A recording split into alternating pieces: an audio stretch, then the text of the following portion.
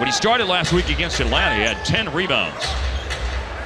And he's on the board, and so are the Mavs. Yeah, look for him to be active, especially on the offensive side of the floor. I think he's shown defensive problems. Jay Washington finds the trailing Cauley Stein to the basket.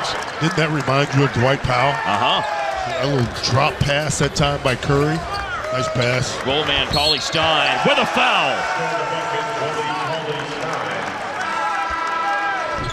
Three-point play completed by Willie Cauley Stein. Basketball scientist obsessed about that schedule.